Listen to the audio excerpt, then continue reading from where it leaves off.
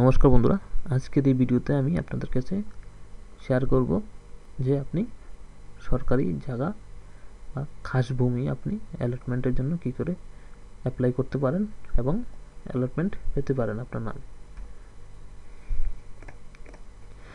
প্রথমে আপনাকে একটা অ্যাপ্লিকেশন করতে হবে এসডিএম এর কাছে।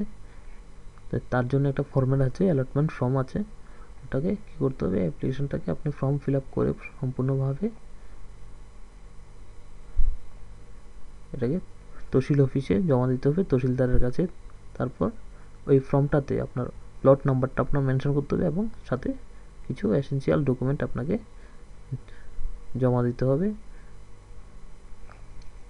তারপর তহসিলদার আপনার এই যে প্লটটা আছে, ওই প্লটটাকে ভেরিফাই করবে, এই আপনার ইনকোয়ারি করবে, ওই একটা ইনকোয়ারি রিপোর্ট সহকারে আপনার যে ফর্ম অ্যাপ্লিকেশনটা অ্যাপ্লিকেশনটাকে আপনার এসডিএম এর কাছে ফরওয়ার্ড করবে।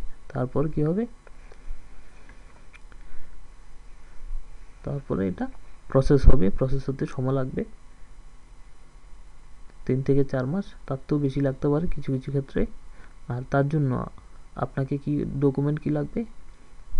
আর যে এই যে অ্যালটমেন্টটা অ্যালটমেন্টটা কিন্তু সিঙ্গেল ব্যক্তিকে দেওয়া হয় না। এটা একমাত্র ফ্যামিলি হোল্ডারকেই দেওয়া হয়, যার যারা হাজব্যান্ড ওয়াইফ ঠিক আছে? স্বামী, স্ত্রী, স্বামী, স্ত্রীদের দুজনের নামেই এটা অ্যালটমেন্ট হয়।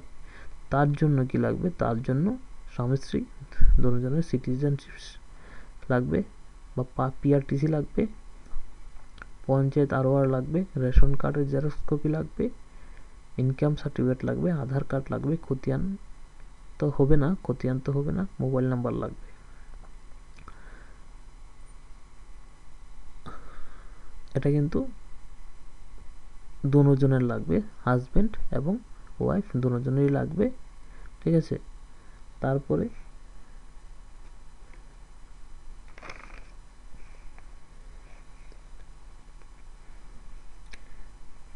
তার পরবর্তী স্টেপ হবে ডকুমেন্ট ভেরিফিকেশন আপনার ডকুমেন্টগুলো ভেরিফিকেশন করা হবে, ঠিক আছে? তারপর আপনাকে ইস্যু করা হবে সার্টিফিকেট বা খতিয়ান এই অ্যালটমেন্ট সার্টিফিকেট আপনাকে ইস্যু করা হবে। আশা করি বুঝতে পেরেছেন। ধন্যবাদ সঙ্গে থাকার জন্য।